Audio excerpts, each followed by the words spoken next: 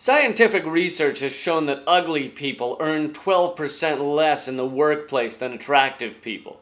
That's a fact. And I know what you're thinking. You're thinking, that's the way it should be. Those hippo faced leprechauns should thank their lucky stars that we even let them out in the daylight. I mean, God knows what would happen to a child if she stumbled upon one of those humpbacked, tarantula titted half wits in plain view. It could scar for life. I shudder at the thought.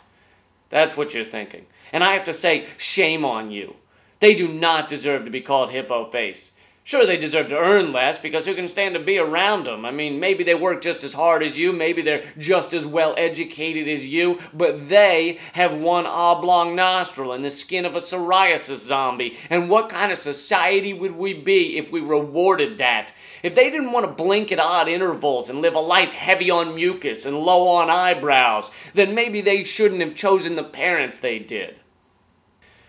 Honestly, though, this is yet another sign that our rational brains have not won the battle. We're still a slave to the monkey part of our brain that says we should reward beautiful people for good genes. If we accept that we too often listen to our monkey instincts, maybe we could really make some changes because we'd understand our need for aggression and war, our need to be prejudiced, our need to kill off competing peoples, and then we could control it.